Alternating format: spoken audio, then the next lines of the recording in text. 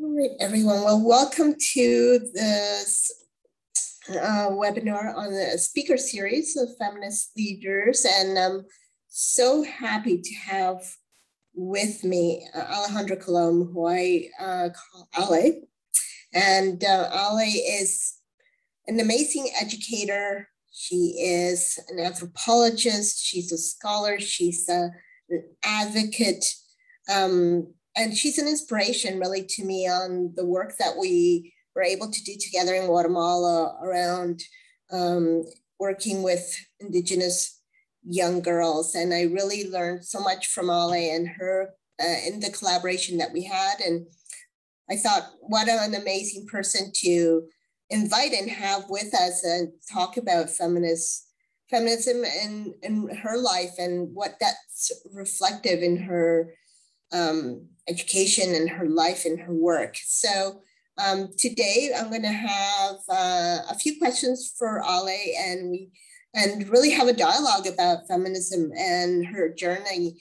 And uh, hopefully some of you will also have some questions um, uh, as we wrap up our dialogue and you also want to have some interaction. So if you are coming with us uh, from to join us from anywhere in Latin America and would like to listen to this in Spanish, please feel free to go to the interpretation, uh, the little globe on your screen, um, the lower right side of the screen, and hit on um, that icon and hit Spanish, and you will be able to hear everything in Spanish. Uh, so thank you everyone for joining us. Uh, all right, we'll go ahead and Ale, uh, welcome, bienvenida. Thank you so much. I'm so happy to be here. Uh, and Ale, we, I'm, I'm just so uh, interested in the way you talk about feminism and in your life and your practice. And um, I have a few questions for you today and wanted to start with uh, learning uh, about your the start of your feminist journey, when that was. Yes, uh, first of all, thank you so much for organizing this, Vero. I, I, have been anticipating this talk for a long time.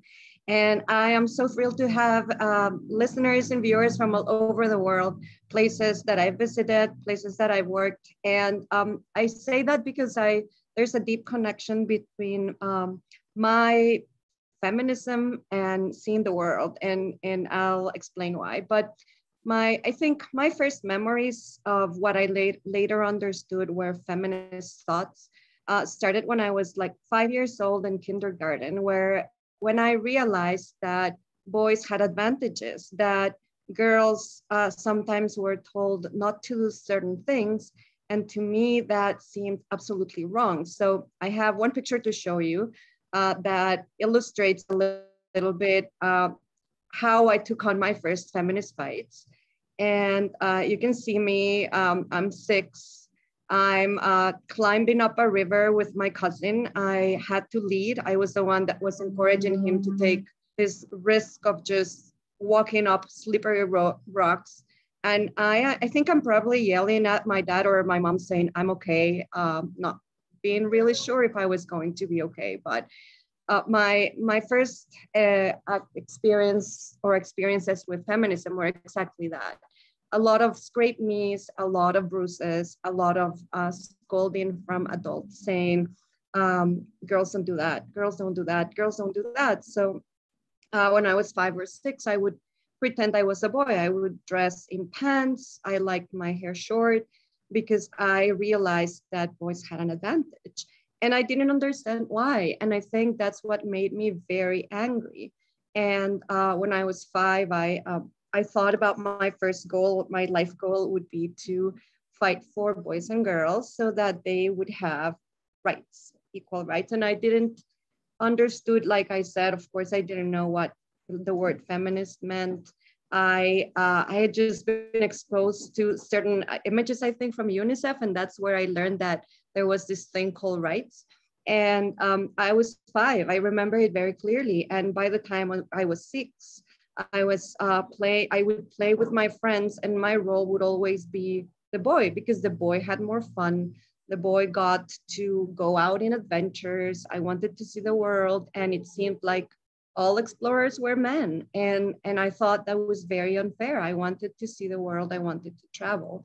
And, and so those goals um, stayed on with me for the rest of my life. And I can say probably those remain my only goals, just equality and um, seeing the world and meeting people. And that's how I became an anthropologist, actually.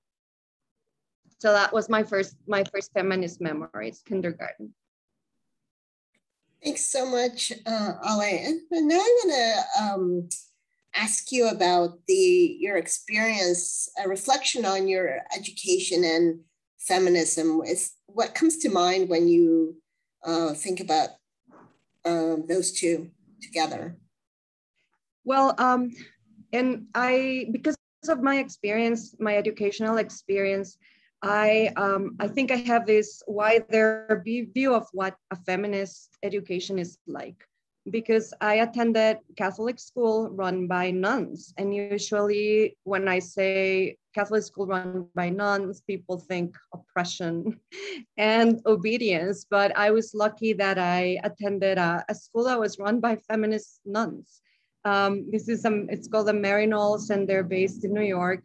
And these women thought that women should do everything, that they could do everything, that they could travel the world and, and become professionals, and that there was no task that women couldn't perform. So I did attend this privileged bubble of uh, encouragement where we were uh, told you can do everything. You want to do sports, do sports. You want to lead the play. You want to write the script to the play you want to go out and volunteer or be an agronomist or be whatever you want.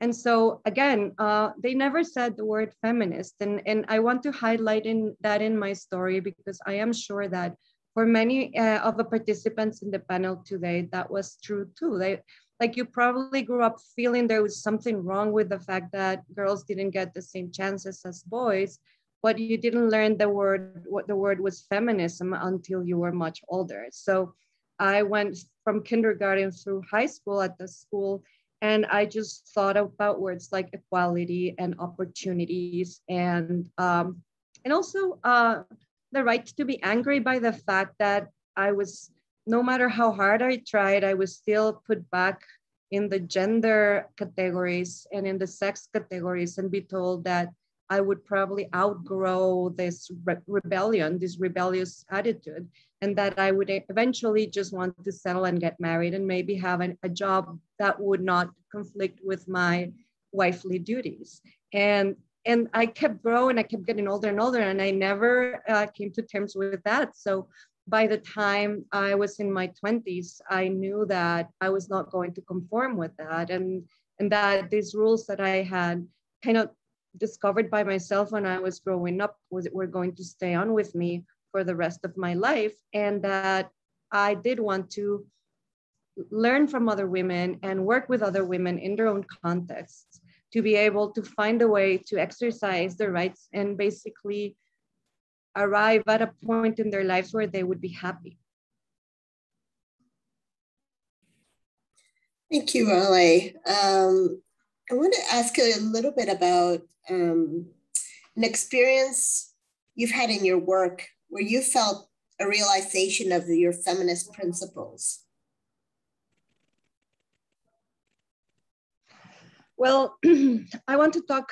I want to talk about child marriage because I think um, this is one of the topics that unites many of us around the world.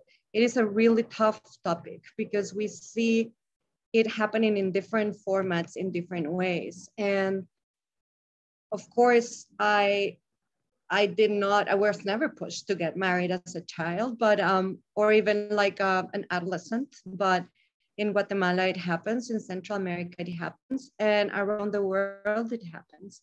So I've always been against it, but once I've traveled and worked with colleagues around the world, I see, I have worked with colleagues in Benin, I have, I have worked with colleagues in India, etc. And my experience listening to them is that we cannot set the same standard for everyone. Of course, we want every girl and adolescent to grow up and be over the age of 20 to, to and to make this decision and make the choice to marry but the reality is different. And a few years ago i was working in guatemala and uh, we were working with indigenous communities. And in the poorest communities girls were getting married at 14 15 and one of the girl leaders stayed unmarried for a couple of years. And then when she turned 16 she told me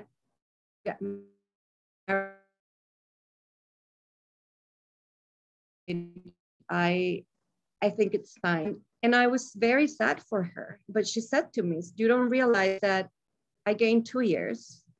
Um, I gained two years that allow me to know my rights. And 16 is pretty old in my community. So um, I learned that we need to be patient in this fight, that, uh, that we cannot just jump and and fight this battle without understanding the nuances and listening to these girls and how they think they're winning this war.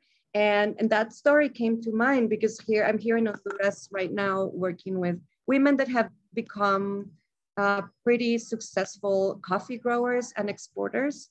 And two of them were child brides. They got married when they were 16 and they are still married and and my bias and my and, and my prejudice is why why are they still married to these men who are like 10 15 years older but um, listening to them I, I remember i need to respect women's journeys and they are happy. And it, i go back to that question like they have managed to find the way to become fulfilled and happy and and they are happy exporting coffee which is great and working in their farms and they have great gained the freedom that they didn't have as adolescents. So i think that the this uh, humble reminders that feminism looks differently across the world and that we cannot impose our own agendas without listening to people and understanding people's paths is something that I need to remind myself of daily.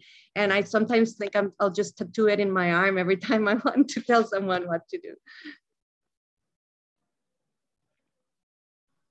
Thank you so much for that, Ali. I think it's um, so uh, great that you talk about this contextualized feminism, the importance of understanding um, the, the context and also where young girls and women are at and how they perceive their own feminism. What are those successes look like for them? And I really appreciate that um, in your response.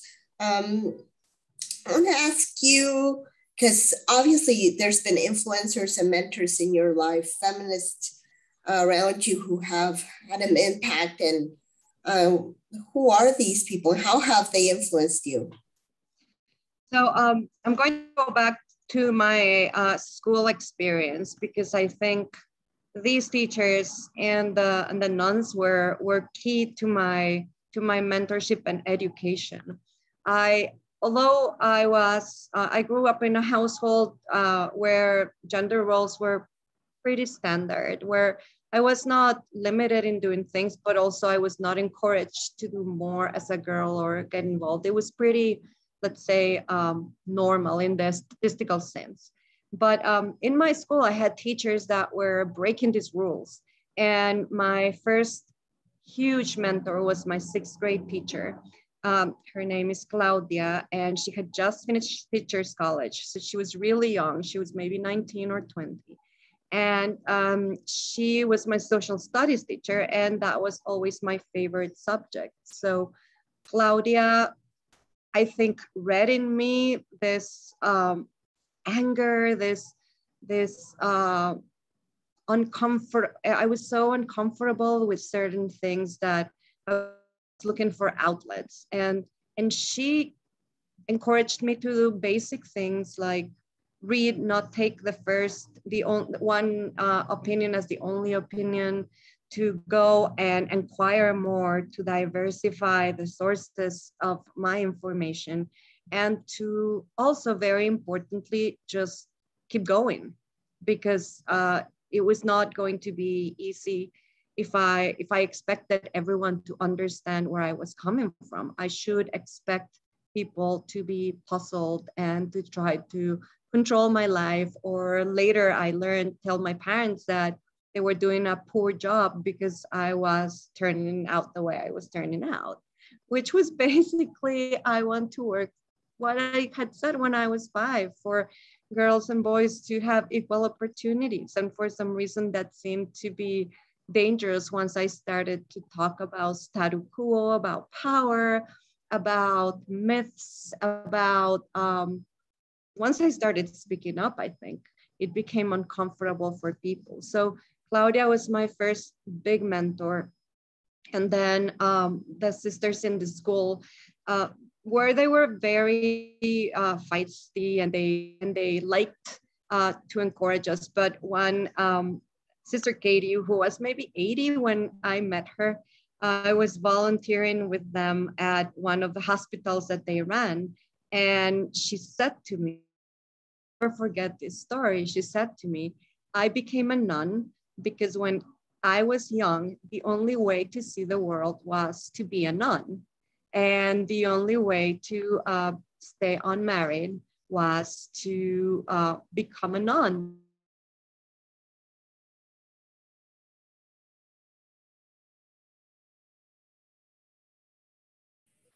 We've lost um, the connection for a minute. Hopefully, um, we knew this was likely to happen uh, from where Alejandra is, but hopefully she will reconnect with us shortly. Um, but I'm really happy to be here with everyone. I see that there's a number of people joining us from um, all over. And again, my name is Veronica Torres, and I'm with the Coady Institute. I'm one of the uh, staff here, and I'm really excited to have uh, uh, connected with uh, Ale. And as you can see, she just have a disconnection right now, but she'll be back. Um, and I'm really, it's really great to see everyone's on the chat letting us know uh, where you're from, where you're connecting from. Um, yes, and we'd love to see some questions if there's any, and we'll keep them um, as a resource when Ali comes back. And we actually just have one more question for Ali. So it will be possible to interact with her soon. Um, so looking forward to your to your uh, questions and the Q&A.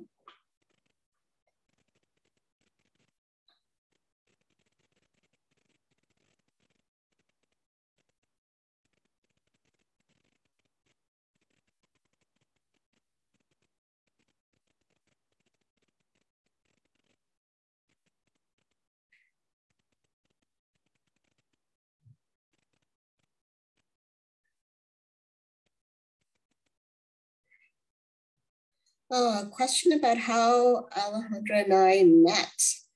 Um, well, we actually, a number of years ago, I ended up in Guatemala to um, really understand uh, how to improve uh, a program for Indigenous girls um, in the Quiche area of Guatemala. And Alejandra was uh, at the time leading the organization that I was supporting um, called the Population Council.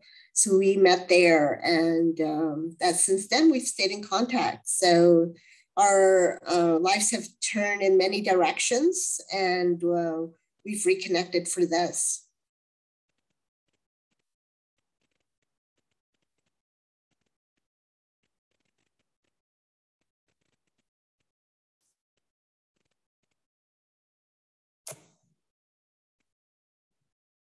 So do let us know if there's other questions.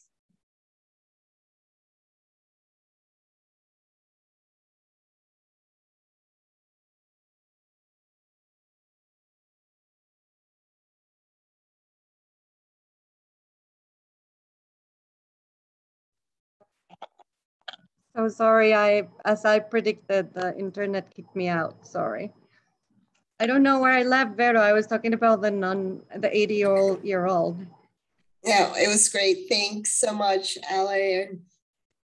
We had um quite a few uh, um, people then just ask a couple questions. One of them was how we met, so I just mm-hmm. filled in with that, which was great. great.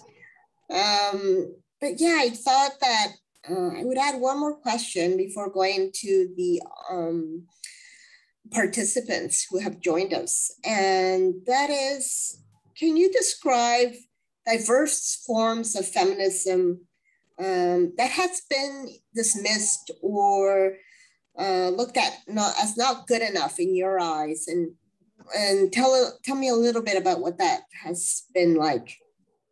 Yes um, i i have thought really hard about it because of course we are not free of prejudice and I, like i said in my previous example to me the issue of child marriage or the marriage in general is it's a tough one to tackle because I I respect and I think that women should choose whether to marry or not, whether to stay in a marriage or not.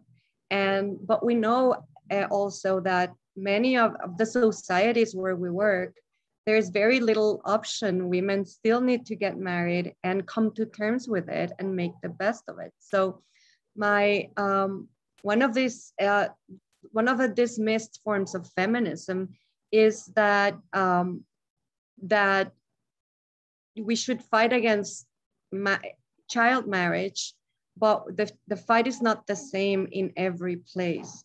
And sometimes I have uh, seen and heard feminist colleagues uh, calling for certain actions that are not sustainable.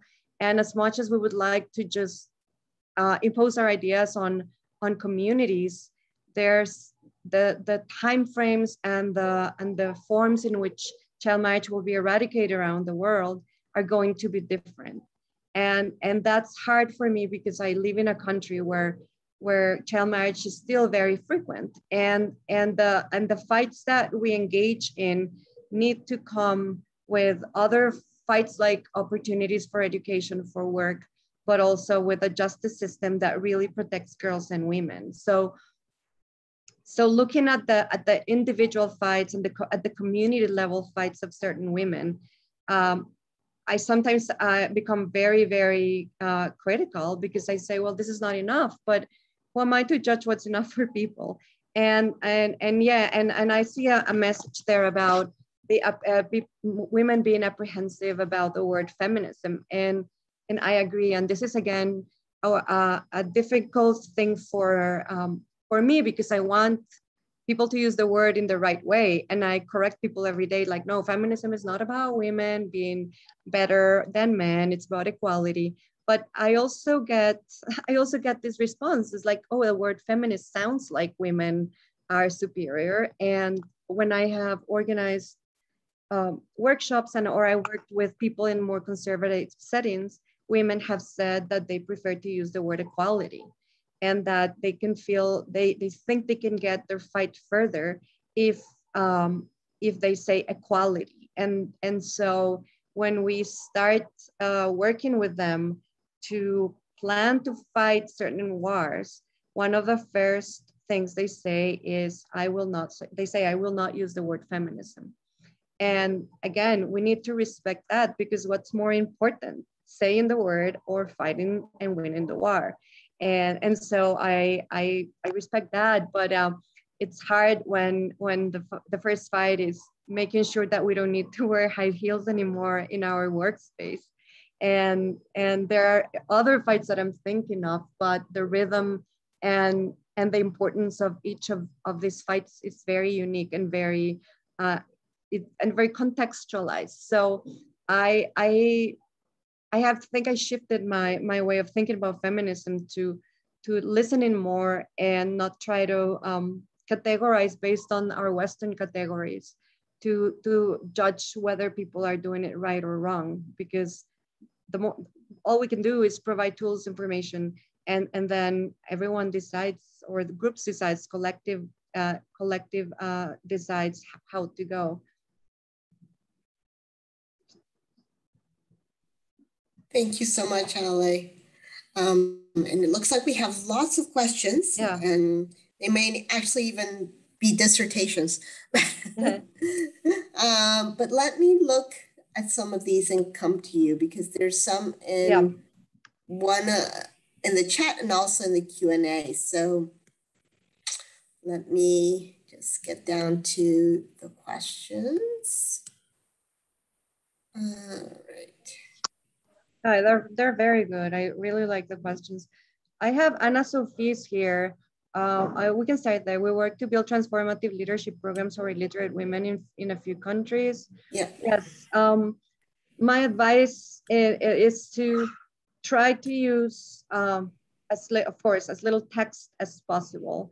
Try to use images and pictures. We have introduced, uh, for the, the project where I'm currently working, we print out large format pictures of women doing different activities. And in these pictures, we include some of the women who are participating in the workshop. And they are very surprised that, that we have included them as an example of uh, women's uh, working, women uh, engaging in certain fights, etc.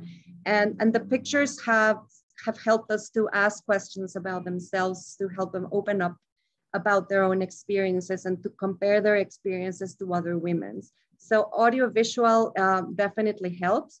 And of course, we may not have electricity or we may not have um, all the resources. And, and this is again, something that I have come back to. We need to use very low technology. We need to not uh, imagine that we'll have perfect conditions and, and pictures printed and, and plastified is one of the of the key things to engage in conversations and talk about, um, about rights.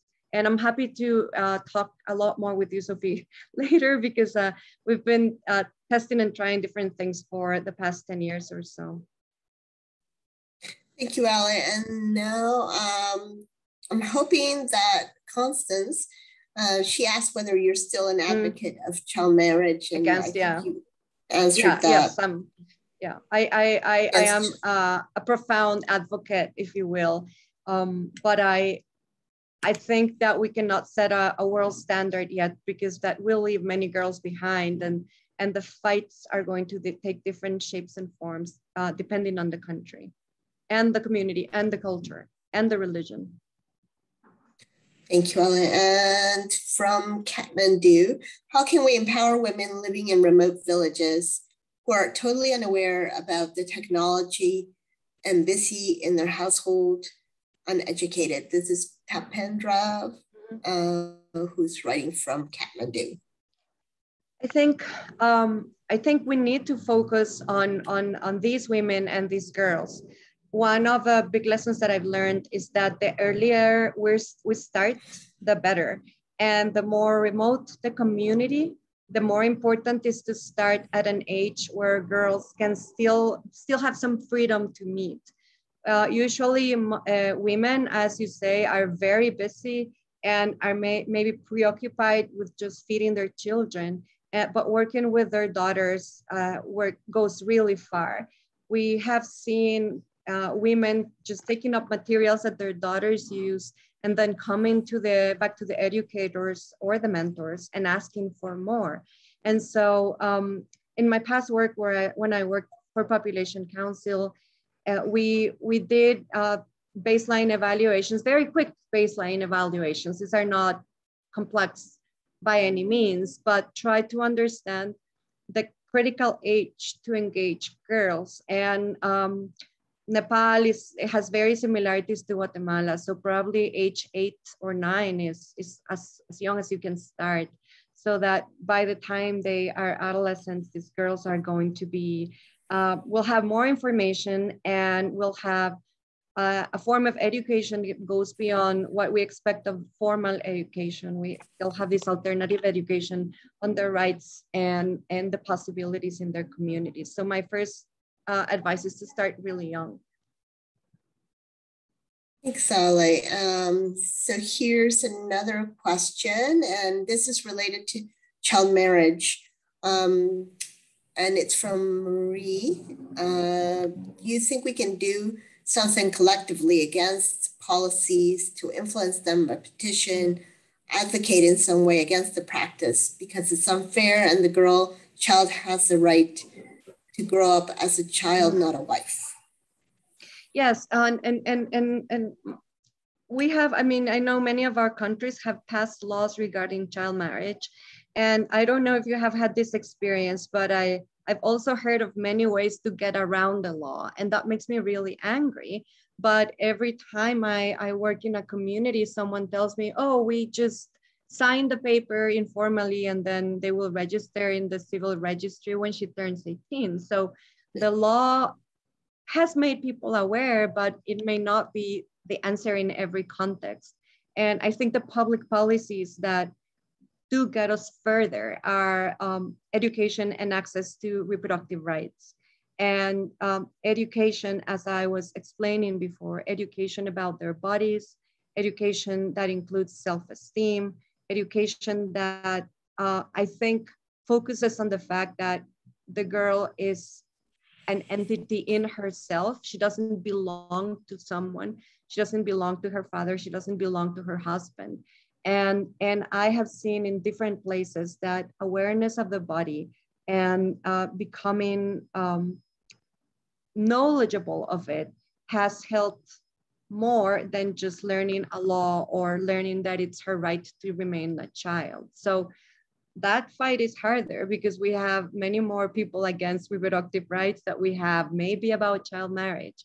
Child marriage sounds like undesirable to many people, but the same people that will uh, help uh, help uh, pass a law about against child marriage will not pass a law uh, regarding reproductive rights. So I think that fight is probably the, the most important critical fight.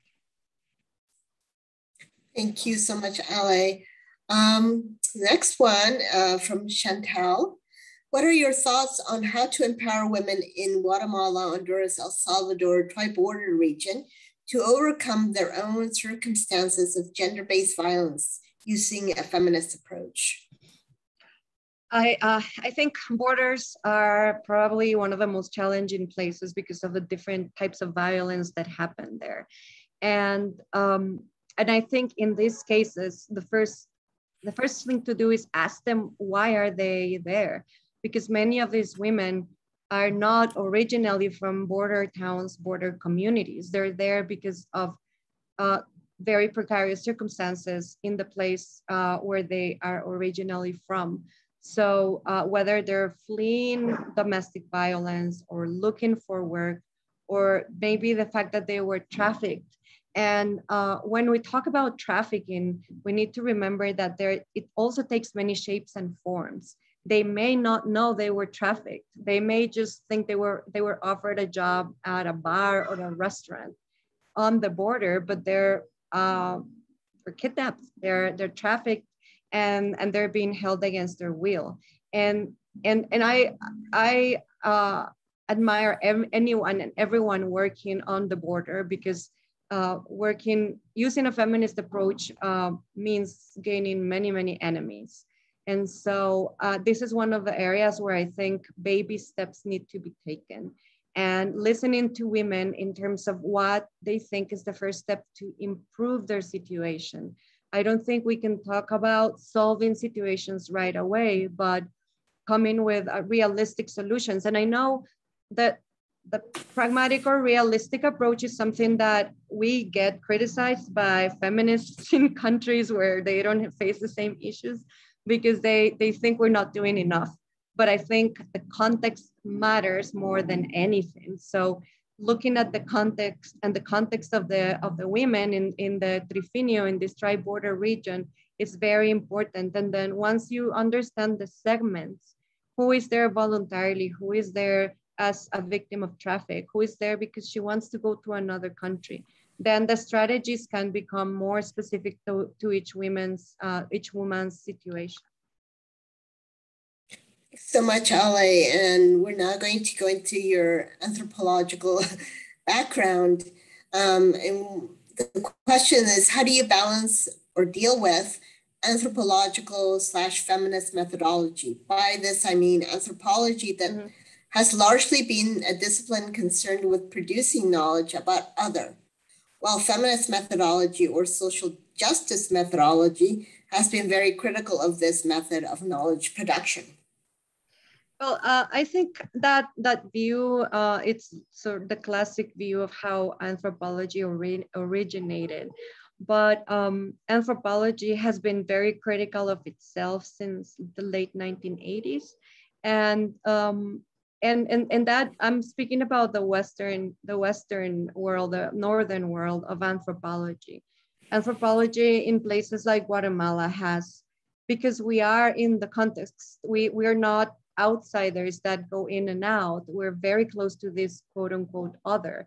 Uh, we have been challenged earlier than anthropologists from the North in terms of our role, our interests. And while extractivist anthropology still happens, uh, a lot of the things that we have been doing for the past 15, 20 years involve uh, the more activist part of anthropology, which has also always existed. And it is um, taking the methodologies, making them uh, a lot more horizontal and, and working to move the agendas from people's perspectives. And there's um, all the components of, of social justice in in the applied methodologies where um, what we do is use the power that we have as scientists, the power that we have as NGO workers to take sides with, um, with women uh, in, when we're talking about working with women. And, and the, the project, I'll just give a quick example of my experience right now.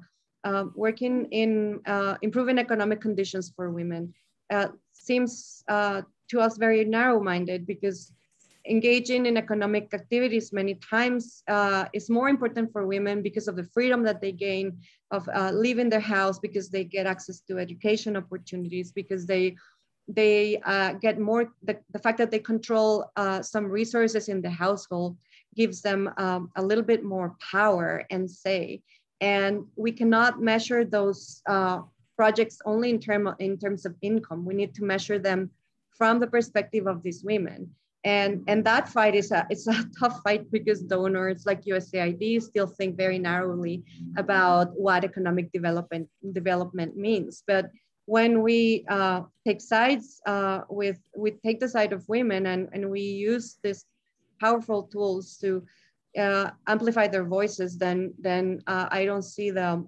contradiction between being a feminist and being an anthropologist. But I understand that's uh, sort of like the, the reputation that we have, and it's well deserved for uh, people from other generations for sure. Thanks so much, Ale. Um, there's one question in the Q&A I wanted to ask. This is from Royapa, I believe. And she um, was very intrigued that, that you've been to India and have experience in India. I wanted to hear a little bit about your India experience. Yes, um, this, this also goes back to my work with uh, Population Council, where uh, I was part of a, a group of um, uh, researchers that were uh, doing similar um, studies uh, regarding girls' access to education opportunities and prevention of child marriage. And, and so I, I was able to learn a lot from, from these fights uh, in, in India that had to do basically with um, the poorest girls and, and the more marginalized girls accessing education, formal education, completing formal education, and work at community levels to prevent child marriage or to engage local leaders to um, to take the side of girls and and and stop child marriage. So I I learned Bangladesh was also another another country that that uh, was in the same project. I didn't get a chance to go to Bangladesh, but I was able to see it in India and Ghana. And, and to compare with colleagues was very, very useful because there are definitely certain similarities, very important ones. And then there are challenges that are very different uh, from country to country.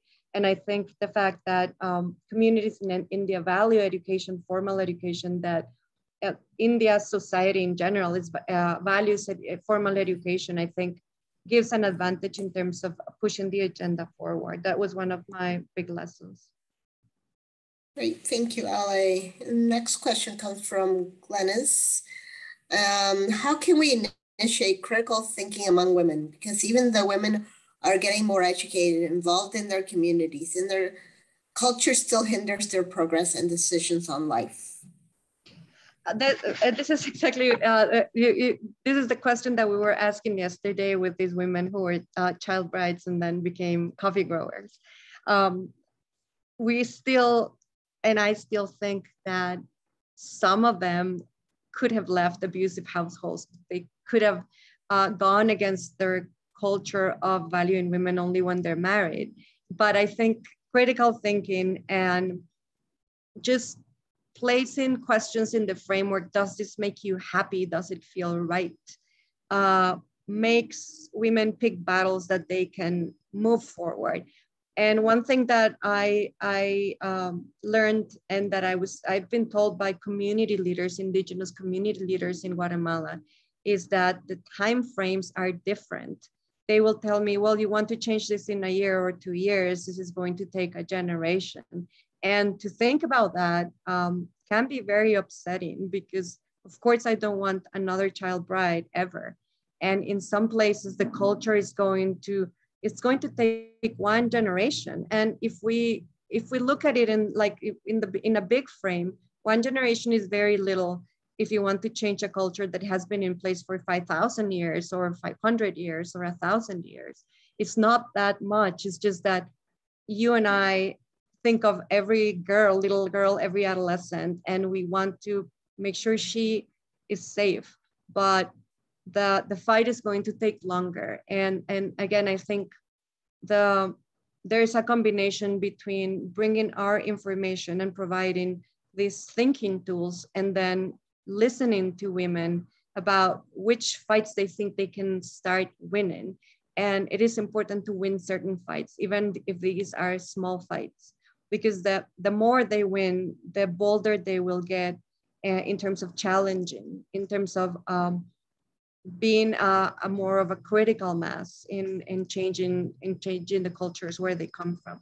And one thing that uh, has helped us uh, talk in the culture talk is that oppression oppression is, is not really culture. If it's around the world, and if you take oppression out of your culture, nothing, the good things are going to stay. That we're not taking away the good things about culture. We're not taking the, the values that, that protect communities, the values about land, about protecting environment, the values around family and being supportive and, and solidarity. We're just taking away the painful parts. And, and women appreciate it when, when they realize they're not, they don't need to sacrifice the things they like about their culture. We're just about making cultures more equal.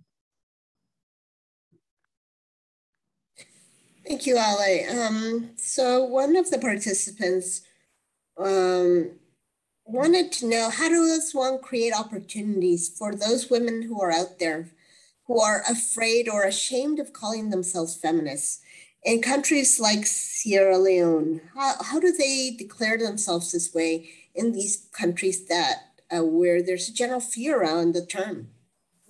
It's it's the same case in Central America. Um, and and what most women have chosen is to talk about equality and equality of opportunities. And i think it's just the word feminism has been um, charged with so much stigma that we also need to be honest about it and, and know that in some places we may not ever be able to call it feminism, but if, if equality works for these women in Sierra Leone or in Guatemala where we work or in Belize or in, in, in the Caribbean, let's use the word that keeps the values, keeps uh, the important stuff and, and just leave the word on the side for a while. I don't think feminism as a fight is going to suffer if we use another word, but women are going to suffer if we impose the word on them. Thanks so much, Ali. Um, I have another question child marriage is not only a problem, it's a reflection of a social construct. So it is so difficult to reduce unless society reconstructs um, another construct, basically, uh, for something to change. How does a feminist approach define social construct? Uh, how can we, we reconstruct, basically?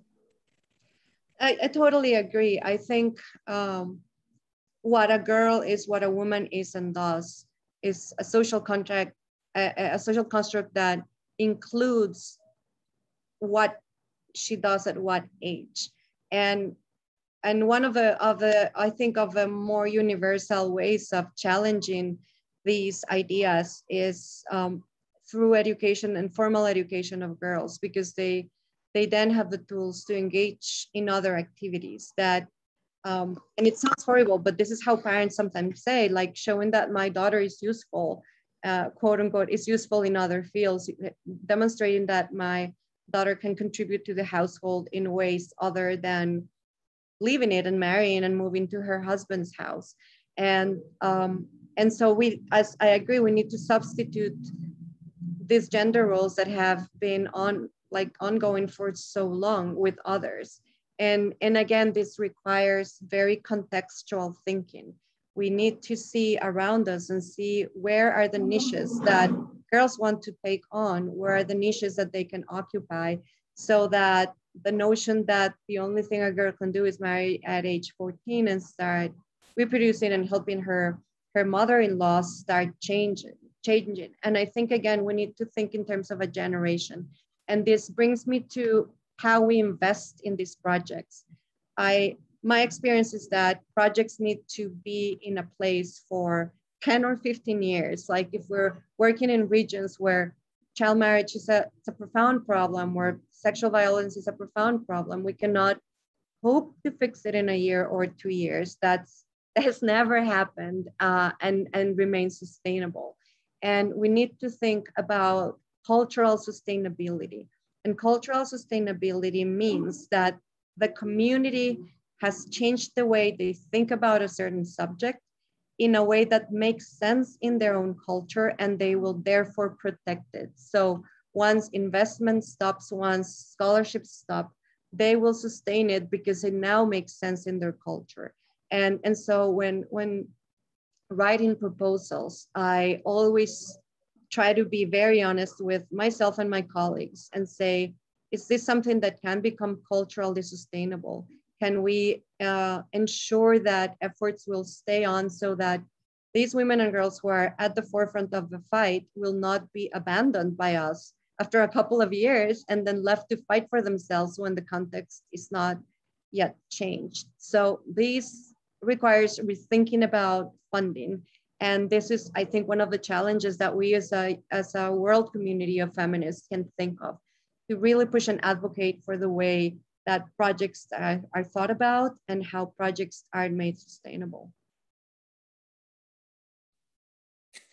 Thanks so much, Alejandra. I love your point about cultural sustainability. I think that that's something that uh, is often not in the development lingo in terms of what sustainability is supposed to look like. It's usually sometimes, well, let's look for the other donor to come in mm -hmm. and continue yeah. the funding, or will the government take it over? But mm -hmm. often it's a, it is about those communities. And as you're saying, how can those communities what is that cultural perspective shift that takes place for the, that sustainability become a norm? Mm-hmm. Yeah, it's great. And, and we need and we need to change at least one norm if we want to create that cultural sustainability. That's great. Great. Um, so we have a question from Tanda in Cameroon, and she mentions that um, in the African context, which is very male uh, predominant, and as you know, and uh, have you met any feminists uh, in Africa? And what, uh, if any, approaches do you think would be best for a place like Cameroon, uh, given your connections with with people in Africa? I think I have met many feminists. They don't call themselves feminists. Uh, Africa is a place that has taught me to listen to to how women frame their fights. And um, I, I have an example from Benin that I still think a lot about. This is a woman uh, in a faraway community who's a seamstress. And she uh, decided to take on apprentices. And these apprentices were girls that were very vulnerable, that would be married off uh, to probably violent men if, if they didn't leave the house. So this woman took on about eight apprentice, apprentices. And you would think, well, she's exploiting them, but she was not exploiting them. She was sending them to school. She was uh, telling them, uh, teaching them how to be seamstresses and giving them a place to live and eat. So in other words, it was a small collective of uh, this woman with eight or nine girls of different ages that had left their house and their parents had allowed it because they were apprenticing to be seamstresses. And what this woman was doing was protecting them from uh, being exposed to violence or being married off forcibly. And, and I think in, in especially in, in Africa, I've worked mostly in West Africa and uh, in Central Africa. The, the scale of the challenge is such that we also need to think of scales that are more community based and to uh, and to find these champions these women who are doing incredible things but at a scale that is so small that sometimes we miss it and uh, because we cannot wait for a large movement to begin uh, to start making these changes. And and again i think the frustrating part is the time scale is that it's going to take a while. But um, they don't call, call themselves that but they're definitely feminists. They're they're doing the fight we're doing.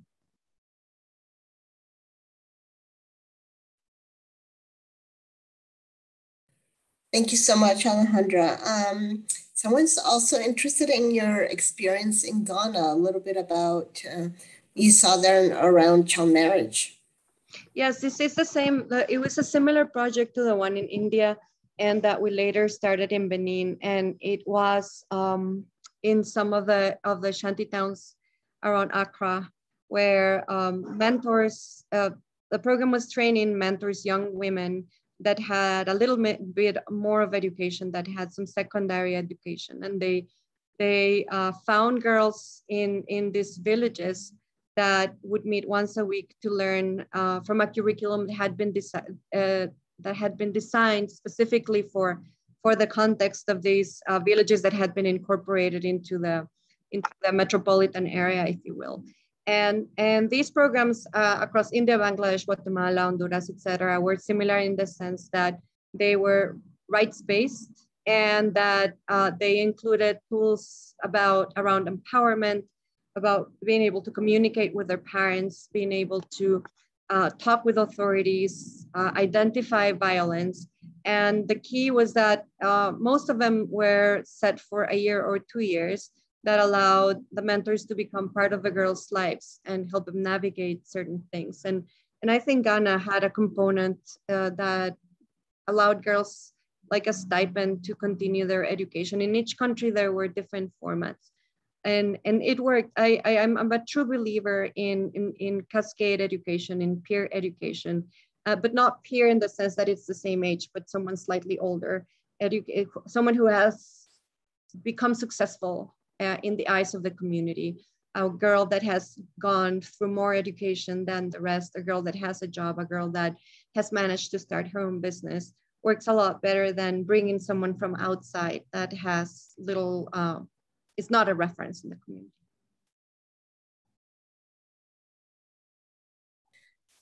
Thank you so much, Ale. Um, someone was uh, asking about Zambia and their experience with child marriage due to poverty mm-hmm. and parents seeing child marriage as a way out of poverty. Mm-hmm.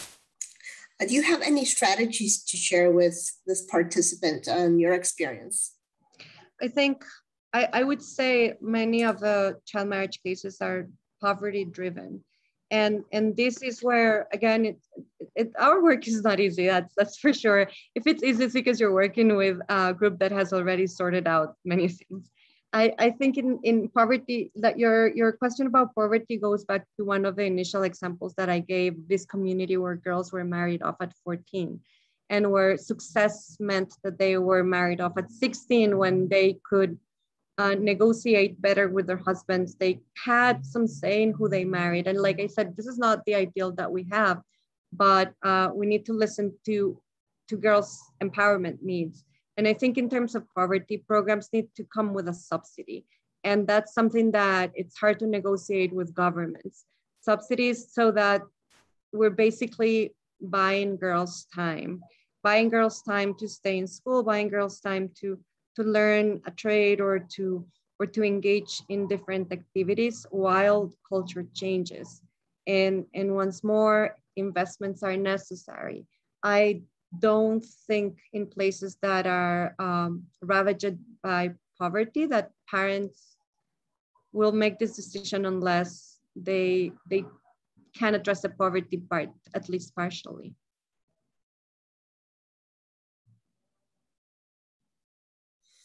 Thank you so much, Ellen. I love this whole notion of um, the need to really value girls' time, the need to value what that is. Uh, that it's oftentimes uh, a choice on around resources and that that's not a you know because you create a program they should show up is mm-hmm. is not you know it's mm-hmm. not an um, a given um, so yeah. thank you for that. Yeah um, and, just and and, and again I, I just want to say this is one of the uncomfortable points because the politically correct way of saying is oh we'll create a program and they should come. And and the politically incorrect way is saying we need to demonstrate to parents that that they will come and learn something useful. So programs for example that include handcrafts or learning how to make certain things uh, attract parents more and and and we need to be smart about it. And while we're knitting or sewing we talk about rights we talk about sexual and reproductive health etc the the idea is to offer a trade-off that it's acceptable in the in the context of poverty in communities. It's not even cultural in this sense. I think it's in terms of poverty what makes sense to parents and then by this time like demonstrate that the time is valuable. Great thank you so much ali and i see a lot of comments just um, really really uh, appreciative of your uh, points and on cultural sustainability around the child marriage context. Um, and the importance of all of what you're saying. I think there's um, there's one person from Nigeria who is also asking if there's any um, any uh, that he sees the similarities, he or she sees some similarities with the work that you've been doing and wondered if there's any suggestions you have around that as well. Yes, I think uh, we need to validate our programs. We need to validate uh, the methodologies that we use. Uh, it's very important to listen to girls that have gone through programs and learn from them what works and what doesn't work. And, and work, the more, more girls that get involved in this, the more adolescents that participate in programs, the better we'll know how to reach them. And, and I think that um, as adults, we need to take a step back. And now that we have provided certain tools, uh, encourage them to be critical, encourage them to bring uh, recommendations, to ask for more. And, and I think once, uh, once the tools, the basic tools are given, then we need to help them raise the resources to continue uh, achieving this cultural sustainability. And one example that I have is uh, from one of the areas in Guatemala where we work, uh, on rights, the basic curriculum on, on rights, education, and, and, and empowerment, learning about their body, they decided that they wanted to focus their effort on fighting for water rights territory and uh, resist um, changes, land tenure changes. And so they became uh, environmentalists on their own, at their own scale. And, and our fundraising shifted to help them fundraise enough to start their their, pro their project on sustainable agriculture. And this sustainable agriculture is still very feminist, but uh, it revolves around uh, remembering or claiming back traditional uh, agricultural practices so that women can feed themselves and their families. So um, if you have invested for a while on girls, like it's time to sit down and ask them, what next? Like, what's the fight you want to take on and how can we help? It's great, Ellie. I know that um, you and I share this perspective on starting with what is it that they already do? What is it that they already mm-hmm. have? What is it that they're it's already on their radar as girls and young women in a lot of communities and not how you know how do we solve your problems and um, and i think that's uh, something i really value about your work mm-hmm. um, is that starting point um, so i i don't see any other questions now uh, but i just wanted to ask uh, one last question um, in terms of the future of your work? Where do you see it going? Where what are the key things that you see as critical for you to be working on as a as a feminist in Central America? My my step that where I am right now is um, literally going around visiting uh, projects and, and places where I have worked in the past and talking with feminists, like the young feminists that are again, may, they may not be calling themselves feminists, but they're doing the fight. And uh, sitting down with them, listening to what they hope to do, helping them uh, with practical things like how do you fundraise, how do you write a proposal, uh, making a budget. If they're starting, say, community tourism, help them, help them in the technical aspects where they tell me they need help, and then um, create a baseline, uh, help them remember how to evaluate their impact on women. Are they really helping women or making them more vulnerable? and then just let go. So I'm, I'm trying to use my time in like in the service of this of these groups that have been working for a while and and hoping that they will work with the next generation. Like I said, um, I'm I'm a very uh, I'm a very impatient person. So thinking about in terms of generational terms has been hard in my life. But I now that I go back and I visit places not not necessarily where i have worked but where i think where i know other people have been working and you see these steps uh, mo- moving forward i think that's where inspiration is for all of us. And um, and i hope all of you find inspiration in those small battles because that's what's going to keep us going. Thank you so much alejandra. And i really want to say thank you for your thoughtful um, responses and your ideas and suggestions to people who have been on this on this webinar and uh, this dialogue. I think it's been really great to, um, to, to have that with you and to interact in this way and to have everyone join us for this and hear about your experience, your worldly experience, not just in Guatemala and, mm-hmm. and but all over as you've shared. I really want to say thank you. Thank you for being here. And uh, thank you to everyone who's joined us today for your great questions, insights, uh, for interacting with, uh, with Ale and myself. And, um, and please stay tuned. We'll have other sessions in the future with other uh, leaders as well. And um, no one like uh, Alejandra, but uh, future ones from all over as well. So thank you so much, Ale. Thank you so much. It's been great.